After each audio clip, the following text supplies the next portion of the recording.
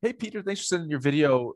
Just awesome, awesome job. I mean, improvements everywhere I wanted to see it. Five seconds is just a massive jump. Um, so great job executing the coaching. Really, really pumped about that. Still lots of uh, things that we can continue to work on. So let's go ahead and start digging into things right away.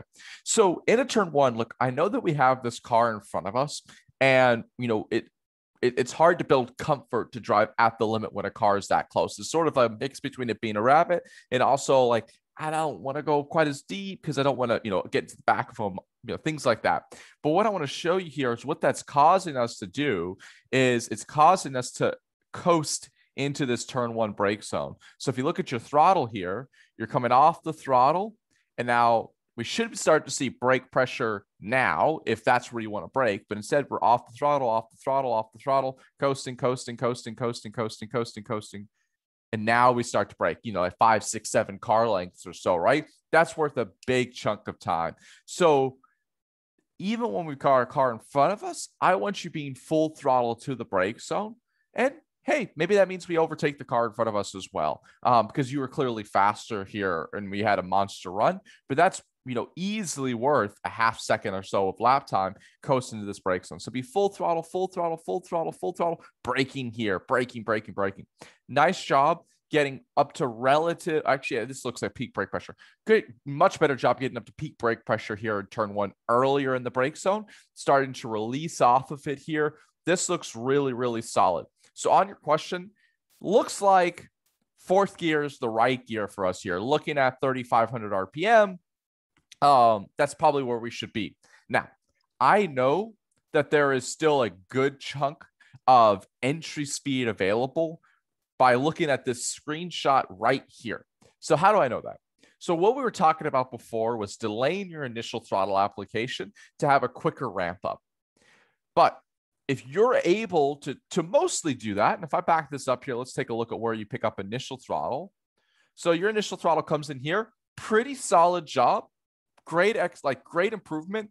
I really want to see that initial throttle come where that car in front of you is. So two car lengths or so later. And there's some things when driving a race car where you need to be a little bit less specific. Like some corners, if I miss the apex point by a little bit, eh, who cares? Uh Road America doesn't have too many of those, but you know there, there's there's some racetracks like uh, Turn Seven at Sebring where if I miss it by a car with doesn't really end up costing me that much time. But there's some things where we need to be very, very like, inch perfect. And where we pick up initial throttle is one of those. So I think we went 80% of the way there. We have a chunk of time still left to go. So the next thing here is when I am talking about like at the being at the limit of the race car, we should not be able to be back to full throttle with this much steering input still in the car, and we shouldn't be able to pick up full throttle at the apex point. The car should be fighting you more here. And and really this shows me that we're not at the limit of the car yet through turn 1. So what I'd like you to continue to work on here is I think you could be full throttle to where you got on the brakes and just start braking there to be able to roll a little bit more entry speed. So your trail brake technique looks really, really solid. Let's just work on working up that brake zone so we can roll a little bit more speed through the middle of the corner. And ideally here, you should be aggressively ramping up the throttle, but really only picking back up full throttle somewhere in this range. So the full throttle application of most corners should come after the apex point, but before you get out to the exit curve.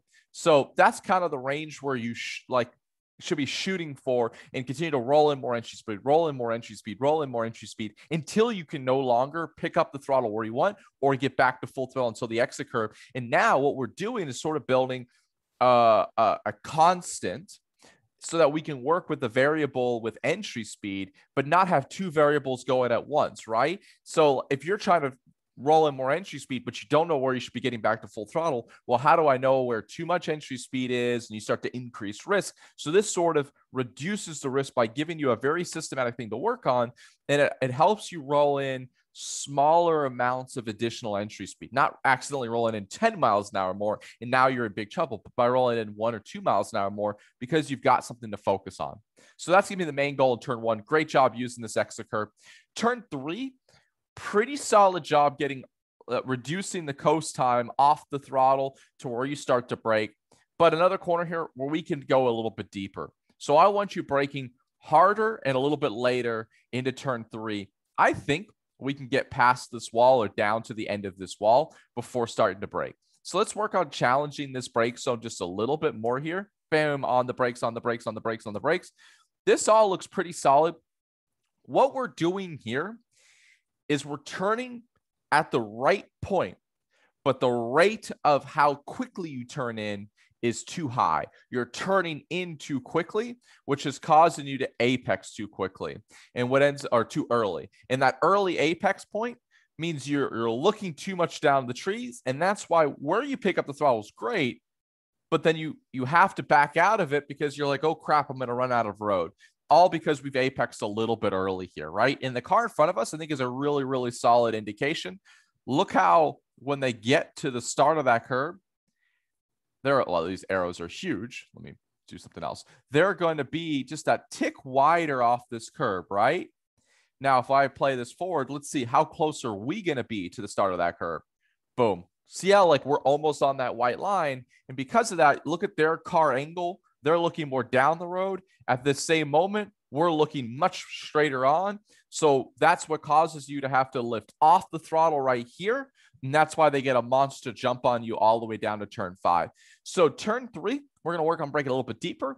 And I want to see you slow down your hands so that we can apex not at the start of the curb, but closer to where this cone is here. So, like just before this cone, this is where I want you apexing. You'll have a car looking more down the road. That'll help you get back to full throttle right about here and, and roll in more entry speed through here as well turn five, like just awesome job.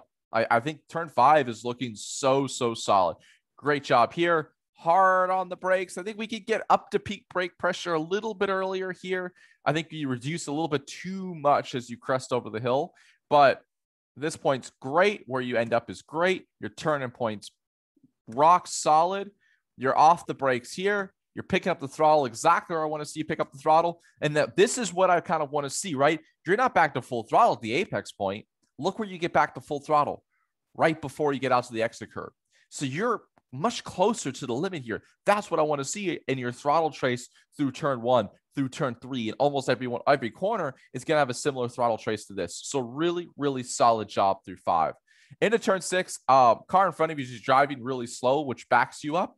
But another corner I'd like to have with a clean lap, making sure that we're not coasting into this brake zone, right? You're only braking, starting to brake here. I would much rather see you brake earlier, but be full throttle to that brake zone. So to give you some indication in a GT3 car, I'm full throttle, full throttle, full throttle, and I'm starting my brake zone roughly in here. And that's a car with downforce and, and pretty sweet ABS. And yeah, okay, maybe I'm, I'm driving, I've got more speed out of the corner, but not that much. Like usually cars end up braking a very similar spot. So I'd much rather see you brake a little bit earlier, but be full throttle to that point. So full throttle up the hill, braking, braking, braking, reducing off the brake pressure as the car comes over the crest of the hill here. I am getting super light on the brakes, off the brakes, good apex point, back to throttle, back to full throttle, let the car be free. Nice job. Um, turn seven, looking at where we are in the RPM and turn uh, in third gear, yes, I do think we should short shift up to fourth gear. But then you short shift and you never get back to full throttle. Partial throttle, partial throttle, partial throttle, and then you have a long coast period. This is an intimidating corner. Uh, your line looks really solid through here. We just got to get a little bit more comfortable again. Once you get up to fourth, back to full throttle. As you start to get ready to turn in, coasting, feet the throttle back in, back to full throttle. Your exit's great, but once again, how we talked about, like, how do I know you're over slowing the car? Look where we get back to like you're you're back to full throttle and you're still on the exit cur- on the apex curve. Sorry, right? So the the main note here is once you shift up to fourth, continue to get back to full throttle for a little bit longer and slowly work up to more entry speed. Your line looks great. You're in the right gear. There's just more on the table for us.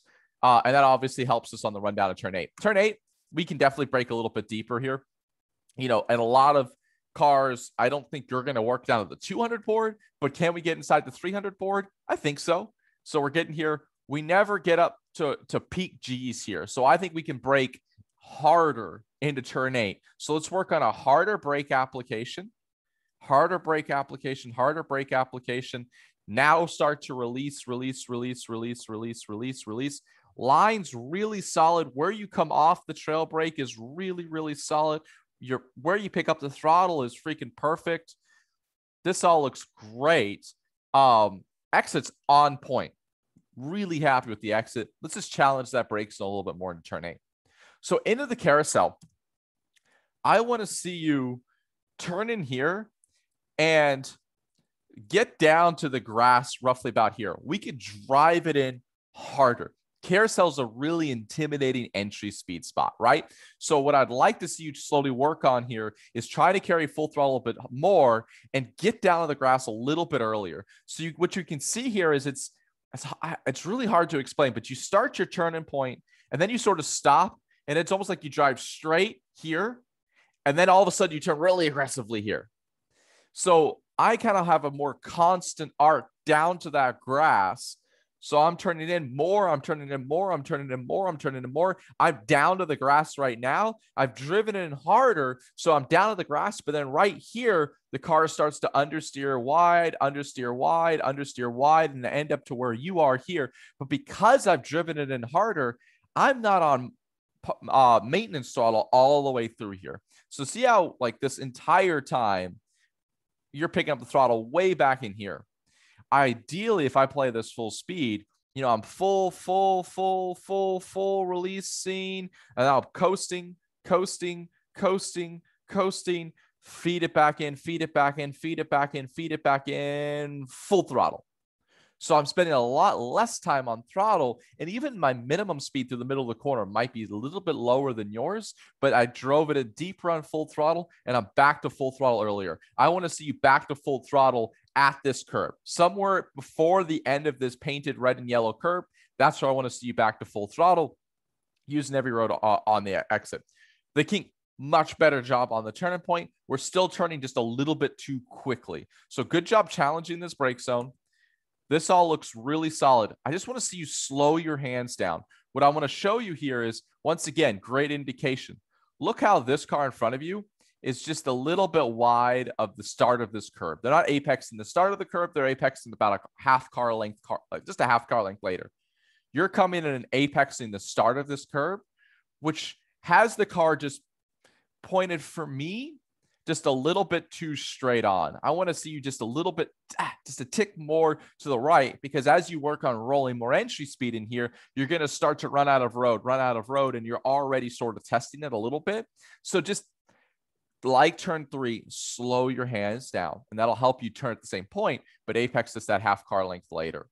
Um, Canada corner, great job. What I like is I think you're the the closest to the limit of the car in Canada corner. I hear those tires swirling good a- attack of the brake zone here. I don't want you to change a thing through Canada corner. I think this looks great. Good entry speed. Boom. Great trail brake. Good throttle trace. Look at that. Boom. Back to full throttle right as you get out to the exit curve. What I want to see. So into Billy Mitchell, start to turn in already here. You're, you're, you're holding it wide too long. Slowly start to turn in, slowly start to turn in. And I am alongside the curbing already. So I'm turning a little earlier, a little slower. And then into Billy Mitchell, I would like to see you similar to turn seven. So we shift up to fourth gear and then we never get back to full throttle. Partial throttle, partial throttle, partial throttle. Then we lift and then we're back to throttle here and then back to full throttle here already, right? So here's a great opportunity to continue to work on the same note as turn seven, shift up to fourth, full throttle, full throttle, full throttle, release, coast, coast, coast, coast, coast, feed it back in, feed it back in, feed it back in, full throttle, right? And then into turn 14, you you a little bit too aggressive working it back to the left side of the road. Let it just kind of smoothly come back to the left. I'm braking in a I'm braking in a straighter line. I'm kind of braking in a straighter line towards the outside of the racetrack, which how lets my hands be a little bit straighter. We could definitely brake deeper in here. So I want you trying to be full throttle past that sign bridge, then braking, and then we just need to continue to brake lighter. Super light on the brakes, super light on the brakes, super light on the brakes coming off. Your exit's great. Boom, pick up throttle exactly where I want to see you. Back to full throttle here. Let the car be free though. I want you, I want your left side tires on the other side of this curb, way out over here. What I can show you, if I back this up a little bit, let's see, where was that? So we're starting to feed this throttle in. You're getting back. All of a sudden it pauses. You reduce off the throttle because you're like, oh crap, we're out of road. And then you get back to it. That little reduction two tenths of a second there like that. But you didn't need it because you had the road. If you had just used more road, you wouldn't have hesitated. You would have been back to full throttle that car length earlier and got that run on the front straight away. So just use more road out of 14, brake deeper and lighter into 14. Lots of entry speed we can continue to carry on. So major notes are no coasting in the brake zone. Stay full throttle until you brake, even if that means you're braking earlier. Turn one, turn six. Slowing our hands down in turn three and uh really focused on trying to get back to full throttle into seven and uh sorry, getting back to full throttle when we shifted the fourth gear into seven and into Billy Mitchell. Let me know if you have any questions. And yeah, man, can't wait to see more seconds.